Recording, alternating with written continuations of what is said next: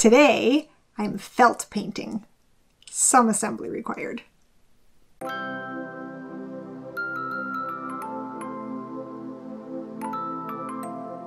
So now that I know I definitely prefer felting onto wool, I'm going to use this old sweater to do some two-dimensional felt painting.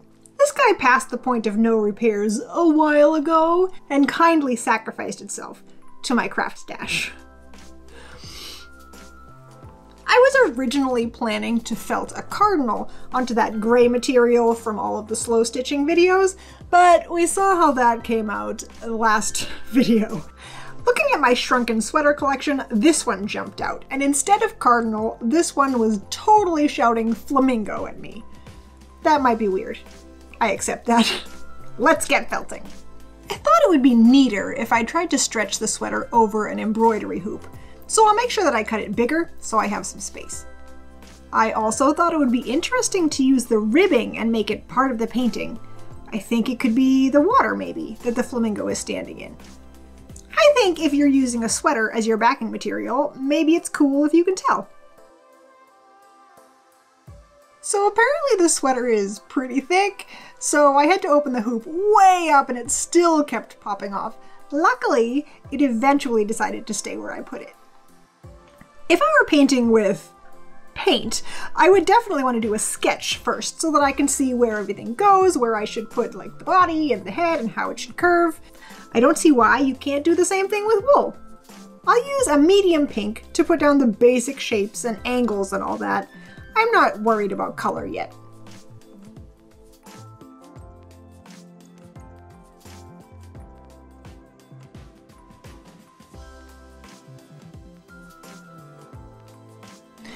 I didn't felt it in very firmly, just kind of tacked it down so that I could peel off any mistakes and redo them, but it looks pretty flamingo shaped. I'm kind of surprised. That turned out better than anticipated. I thought it might be handy to have a wide range of pinks available, so in addition to my normal bag of pink, I busted out these little guys that you may recognize from every Amazon fiber listing. I also have a little block of foam that I can put behind the sweater on top of my normal foam to give a little support under each area as I go. I think it felt a little bit better with foam right underneath. And there's a little gap if I just put it on top of my big foam block. First, let me felt my sketch pink down just a little bit better so it's not such a fluffy base. I think I will start with the shadows and work up from there. A maroon would be a pretty good medium dark. I'll do the legs too. Hmm, Need some deeper shadows. I'll try a darker maroon for some really dark bits.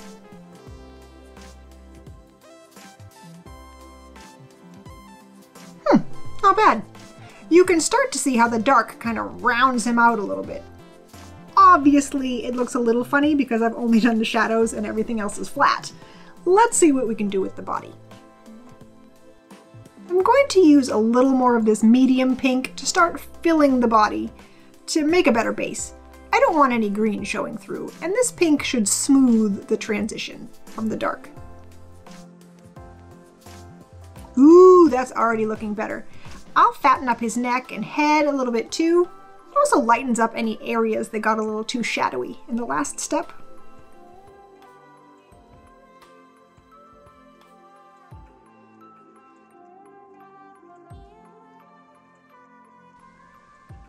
Great! Now I can start to add some light colors to the body and see if I can make him look a little bit rounder and feathery. For this part, I'm starting out with a light pink, but not the lightest, and adding it almost in lines along his back. This helps him look round as well as feathery. Now I'm adding soft stripes of a few other shades, like a brighter pink and a coral, to blend and add more variation. I'll highlight his back with a really light pink and add some bright pink in his tail and neck. Hey, that's not bad for now. I'll move my foam block up to his head and work on that for a little while. It's a little weird when there's only detail in one little spot. Wow, a little brighter pink up his neck and into his head actually makes a big difference. It already starts looking more 3D. It's like magic. Now, let's fix that beak, Mr. Flamingo. I always get flamingo beaks confused. They're sort of white at the top and pink underneath, and then suddenly black around the corner. A skinny bit of black here lets him open his mouth, and then a teensy weensy nostril. Well, that is easily the best flamingo beak I have ever done, ever. So to me, flamingo eyes are a really creepy reddish orangish color, but somehow we still like them. And a little more black in there for his beady little pupil. There, not bad, looking flamingo-y. Hmm. now this part around his wing is looking a little funky. Let's see if it can be helped I think it needs to be covered with more feathers so it's not so abruptly dark, like all of a sudden. So I'm just using teeny strips of light pink to add some fluffy blending. I don't think the legs are too bad, but they could maybe use a little highlight to make the front one pop forward a little bit. I'll just use the teensiest little line of lightish pink to highlight this leg. Not too much, because flamingo legs seem to be pretty dark. That looks better. So he's almost finished, but I think the water needs a little definition. I'll move my little foam piece down to his feet and add just some suggestion of water.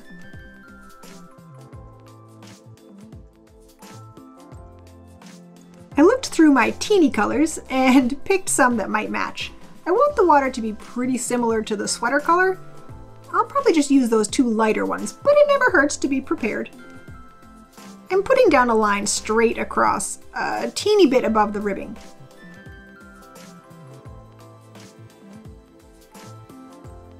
Ooh, I'll put a little maroon in for reflection.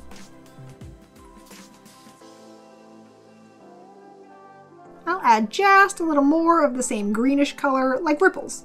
When it crosses over the maroon, it makes it look more like a reflection and not like weird, bendy, long legs.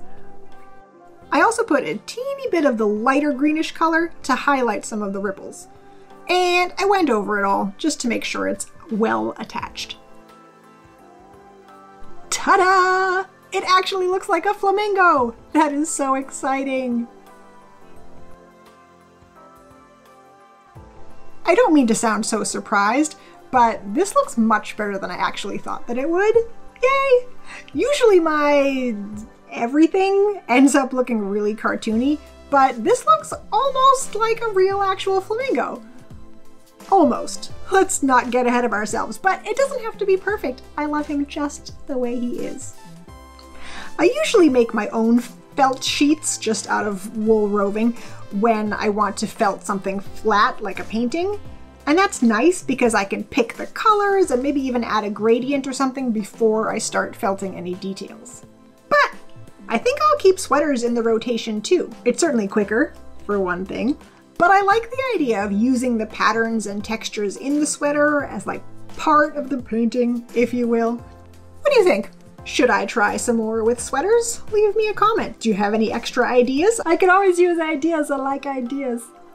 Now, in the back of this, it is not super attractive. I just took some thread that you can't see. It's purple. Why can't you see it?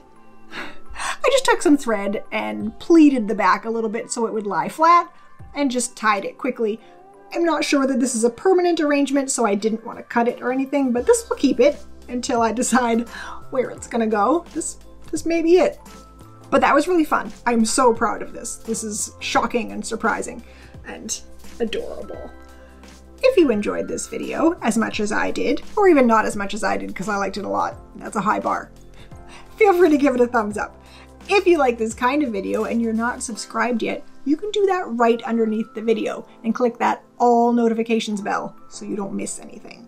New videos come out on Tuesdays and Saturdays, so stay tuned and until the next video, be awesome and I will see you then.